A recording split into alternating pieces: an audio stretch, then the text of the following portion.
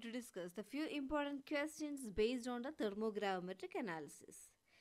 These questions are equally important for set and net examination, but in 2021 Kerala set examination, few questions are taken from this set of questions.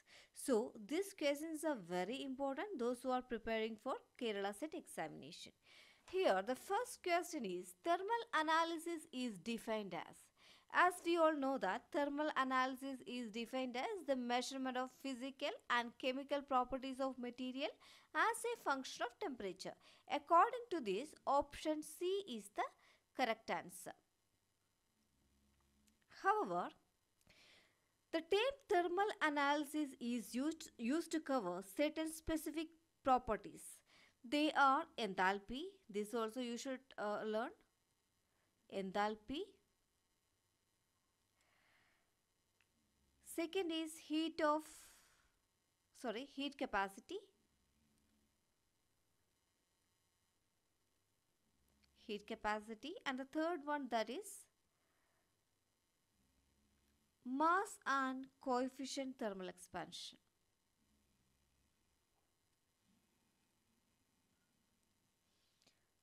Thermal expansion. Second question Which of the following method can be used for the measurement of change in weight of oxy salt? Here, the measurement of change in uh, weight of oxy salt and hydrates can be achieved by thermal analysis.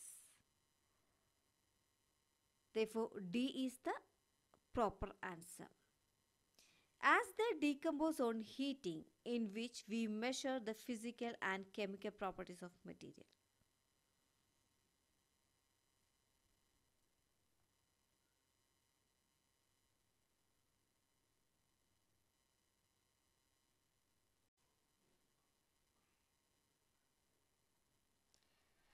Third question What are the two main uh, techniques for thermal analysis? Two main thermal analysis techniques are thermogravimetric analysis is uh, known as TGA which measure the change in the weight with temperature. Which measure the change in the weight with temperature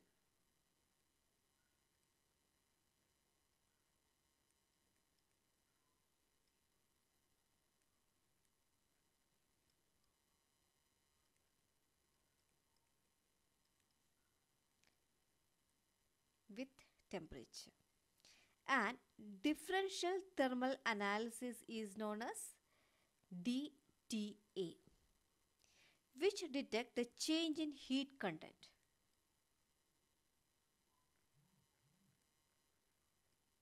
Change in the heat content. Therefore, here option C is the correct answer. TGA and DTA. Differential thermal analysis is known as DTA. Thermogravimetric analysis is known as TGA. Next question. Dilatometry is also known as Therefore, here four options are given over here. You have to find out the answer. Therefore, here option D is the correct answer. Thermomechanical analysis. Here, fourth thermal analysis technique is dilatometry in which the change in the linear dimension of a sample as a function of temperature is recorded recently, it has acquired a new name that is known as thermomechanical analysis. Therefore, D option is proper. Next question Which of the following statement given below is false? We have to choose the false statement. Here, one second. Here, with modern automatic thermal analysis equipment, it is possible to do TGA, DTA, and DSC are measured using same instrument. Therefore, here option A is correct. Then second point, TGA and DTA are carried out simultaneously. This also correct. Then uh, fourth one, TMA that is known as the thermomechanical analysis is known as dilatometry. Therefore, option D also correct. Therefore, here the C is the wrong statement. TGA, DTA and DSC are measured using different instrument. Therefore, this is the false statement. Therefore, uh, asked the, asked the false statement, right? Therefore, here option C is the correct one. Next one. In thermogravimetric analysis, the result obtained appear as. As we all know that thermogravimetric is a technique for measuring the change in weight of substance as a function of temperature or time.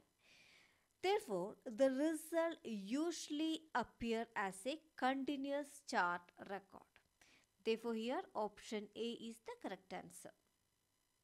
Next question What is the range of the rate in degrees Celsius per minute required during the heating process in TGA?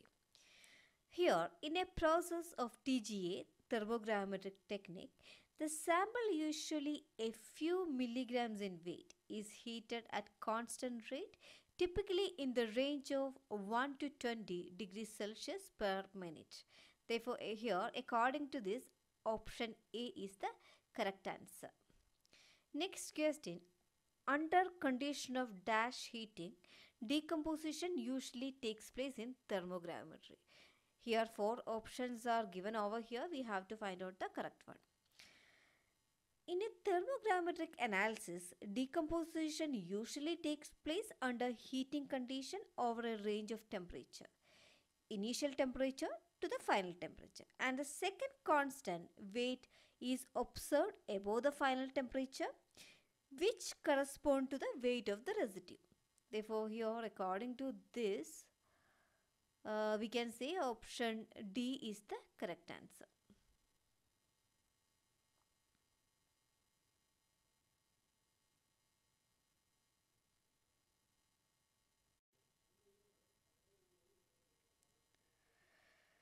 The question number 9 the TI and TF uh, TI means initial temperature and the final temperature depends on which of the following factor. Here the initial temperature and the final temperature depends on the variables such as heating heating rate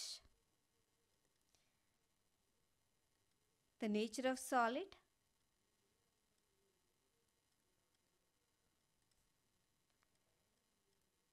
the nature of solid.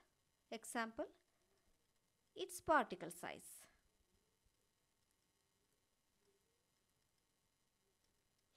And the temperature should be above the sample. Therefore here we can say four options are given over here. Cooling rate that is wrong. Mechanical property of the material is also wrong. Thermal expansion coefficient also wrong. Therefore here atmosphere above the sample Initial and final temperature depends on the variables such as heating rate, the nature of the solid and the temperature above the sample. Therefore, here option D is the correct answer.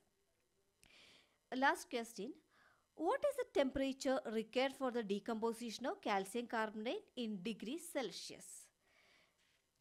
Here, Decomposition in thermogravimetric analysis of calcium carbonate is completed in vacuum at 500 degree 500 degrees Celsius. Therefore, option B is the correct answer. But in CO2 at 1 atmospheric pressure, decomposition does not even commence until above 900 degrees Celsius.